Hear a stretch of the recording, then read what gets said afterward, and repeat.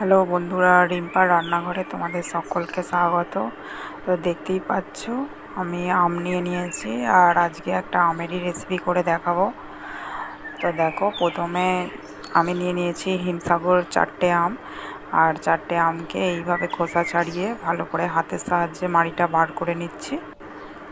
আর দিয়ে দিচ্ছি একটা মিক্সি জারে। আর দেখো, চিনি দিয়ে দিলাম এক কাপ মতো। আর হিমসাগর আম এমনিতেই মিষ্টি হয়, তাই আমি এক কাপ মতো চিনি দিয়েছি। তো দেখো, একটা পেস্ট বানিয়ে নিয়েছি আর একটা নিয়ে নিয়েছি ফ্রাইং প্যান। তো দেখো, পেস্টটা ঢেলে দিচ্ছি আর পেস্টটা একটু ঢাল, ঢেলে ফুটিয়ে নেব। আর সামান্য দুধ দিয়ে দিলাম। তো দুধটা দিয়ে ভালো করে আমি মিক্স করে দেবো। দেখো, ভালো করে মিক্স করে দিচ্ছি। আর আমার এই রেসিপিটা ভালো লেগে থাকলে অবশ্যই তোমরা সাবস্ক্রাইব করো। আর দেখো, সামান্য একটু গুঁড়ো দুধ নিয়ে নিয়েছি। গুঁড়ো দুধটা একটু মিশিয়ে দিলাম। আর গুঁড়ো দুধটা দেওয়ার পর ভালো করে নেড়ে চেড়ে মিশিয়ে নিয়েছি। এরপর দিয়ে দিলাম একটু পরিমাণ মতো নুন। আর নুনটাকেও নেড়ে চেড়ে ভালো করে মিশিয়ে নিচ্ছি।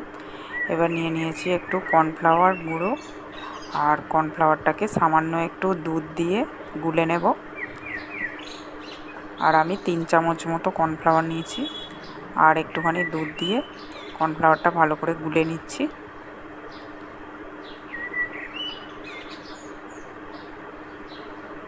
তো দেখো ভালো করে গোলা হয়ে গেছে, এবার কর্নফ্লাওয়ারটা আস্তে আস্তে দেব আর নাড়তে থাকব।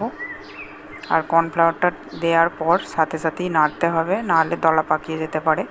আর তোমরা যখন কর্নফ্লাওয়ারটা দেবে, তখন অবশ্যই আঁচটা একটু আস্তে করে দেবে, কারণ জোর দেয়া থাকলে দলা পাকিয়ে যেতে পারে।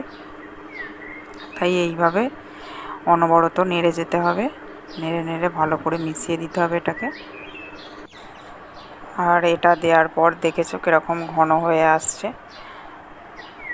আর এরকমভাবে ঘনত্বটা দেখে নাও। এরকম হবে ঘনত্বটা একটু সামান্য মোটা হবে। আর একটু সামান্য লেবু দিয়ে দিলাম। পাতিলেবুর রস।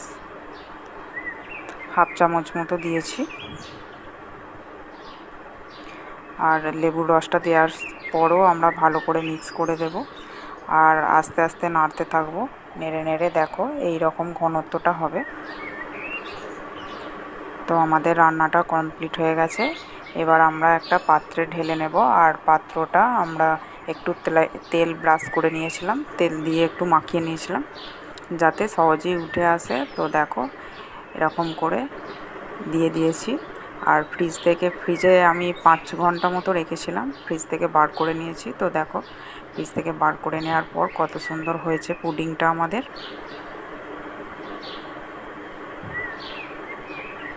আর খুবই ভালো খেতে হয়েছিল। বাচ্চারা তো খুবই ভালোবাসবে, বড়রাও ভালোবাসবে, এইভাবে রান্না করে দেখবে। তো দেখো, কেটে দেখিয়ে দিচ্ছি একটু কতটা স্পঞ্জি হয়েছে আর খেতেও খুব মজাদার হয়েছিল। তো আমার এই রান্নাটা ভালো লেগে থাকলে অবশ্যই আমার চ্যানেলটা সাবস্ক্রাইব করে আমার পাশে থাকবে। আর লাইক করো আর কমেন্ট করো। বাই বাই বন্ধুরা।